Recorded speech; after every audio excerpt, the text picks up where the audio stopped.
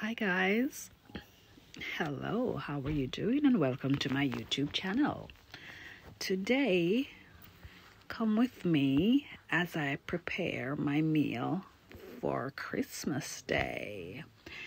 At the moment, I'm doing curried goat that I'm seasoning. I'm rubbing the season in the curry goat and I'm gonna allow it to marinate for a while on the cooker let's see what we have going on. Oh we have rice and peas. So rice and peas is finished.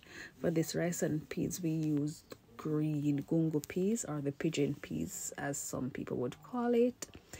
And as you can see my rice is nice and shelly and it's finished and it's ready to go. So I'll be removing it from the heat in a few and let it sit. Look at that shelly rice and peas.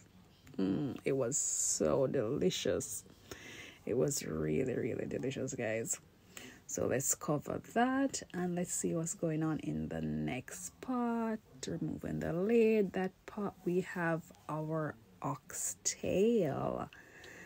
That's going on there. We sorting out our oxtail so it's still not finished just yet so it has a just a bit to go. And then the oxtail will be ready. Look at get that guys. It looks so delicious. Let's see what's up next. So we have we're gonna be doing um what's that again? Potato salad so that's potato and eggs. Now we're checking again on our meat to see how it's going. So that's the oxtail coming on nicely, guys. We don't want a lot of water in that because it's not soup. So you just add a little water at a time and let the oxtail simmer. Oh, delicious fried chicken, guys. Look at those chicken. I think my chicken is ready to be taken from the pot. And my oxtail is finished and it's off the heat. And uh, rice is off the heat as well.